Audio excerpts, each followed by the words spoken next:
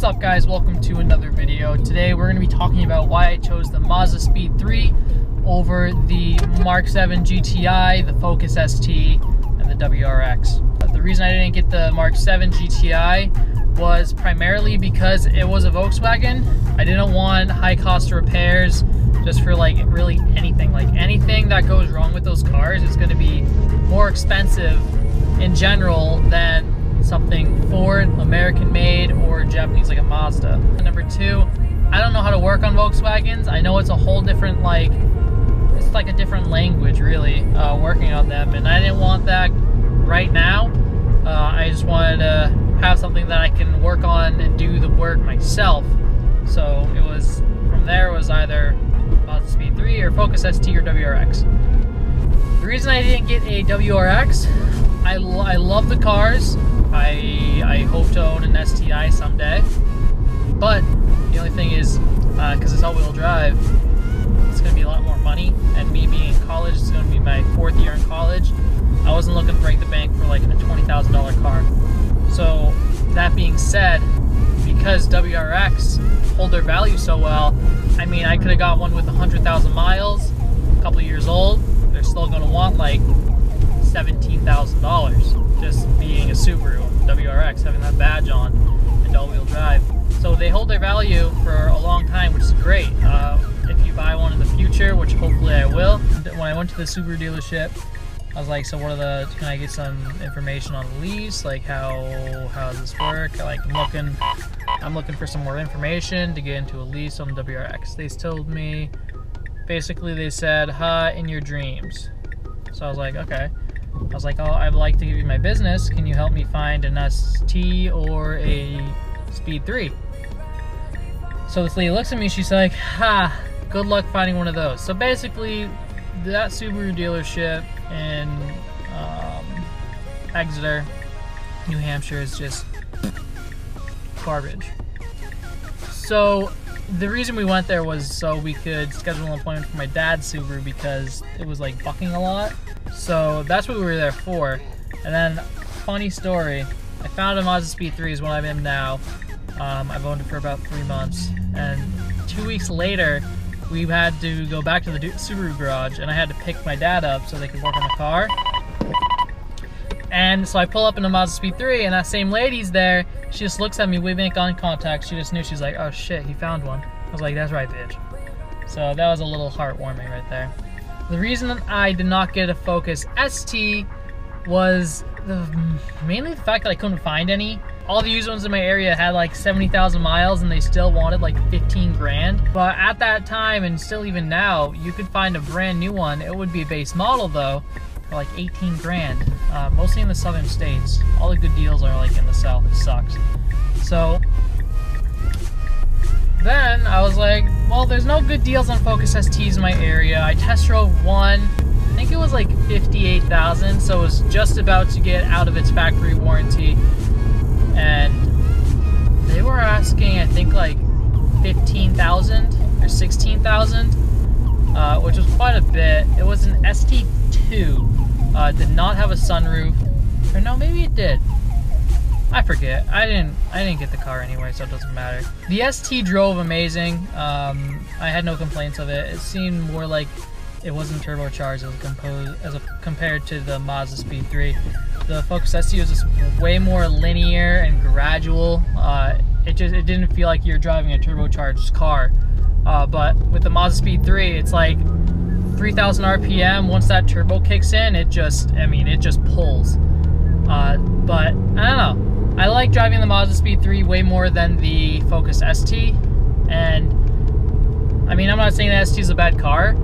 Uh, it was definitely like, it was one or the other. If I could have found an ST, which I figured I'd be able to find one easier than finding a Speed 3, because my area, there's like, I mean, in Maine, there's only a handful of Speed 3s. Pretty sure there's only like one other Speed 3 in my town, so they're hard to find and even at the car meets, they're like hard to find. I was surprised that I found this Speed 3.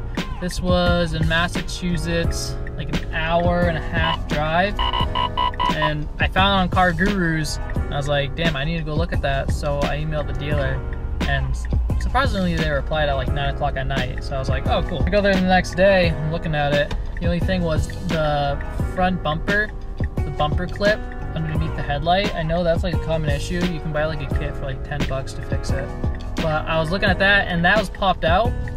That was the only thing. Uh, it had an aftermarket suspension, which the dealer didn't know. So thankfully I got like a $1,200 suspension coilovers and they didn't even take that into consideration of the price. So the main reason I did not get a Focus ST was I couldn't find a good deal in my area. They wanted way too much money for a used vehicle. And I was like, that just is not gonna, like, that's not gonna fly. If I had found a good deal on a ST that was used, I wanted the uh, ST2 or ST3 package. I wanted that Recaro seat, um, but I didn't find one, unfortunately. I hate the look of the base models. The radio on those base models looks so ugly. Uh, even the seats, they're just like, eh.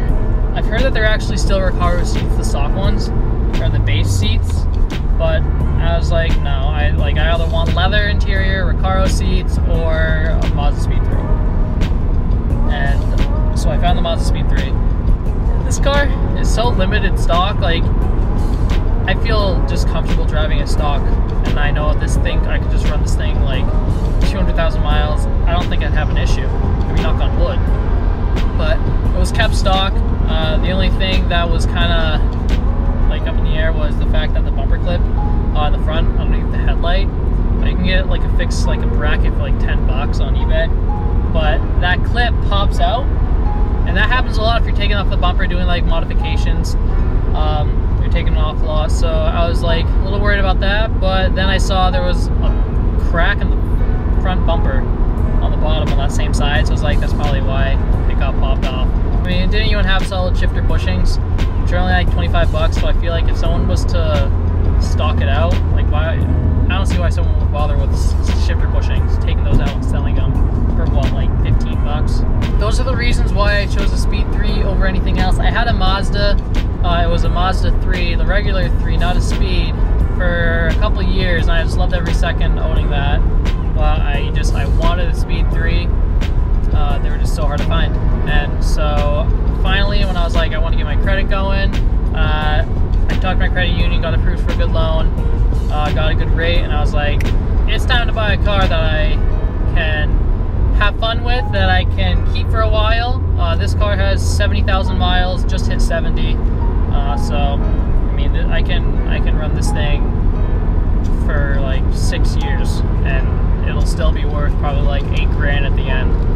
So I'm excited. Uh, I love these cars. I love the look of them. Overall, like I think this and the WRX are like the best looking cars out of the bunch. So this is like the closest thing you can get to a WRX, um, but it's cheaper because it's front wheel drive. So with that, you get torque steer, which isn't really an issue. Um, if you definitely get a rear motor mount, which I'm gonna do